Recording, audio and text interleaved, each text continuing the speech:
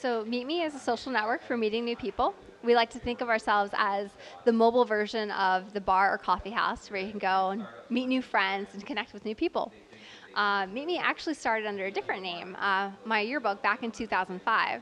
Uh, my brother and I were actually flipping through a normal high school yearbook, and um, we were new in our high school, and really it was just a way for us to make new friends.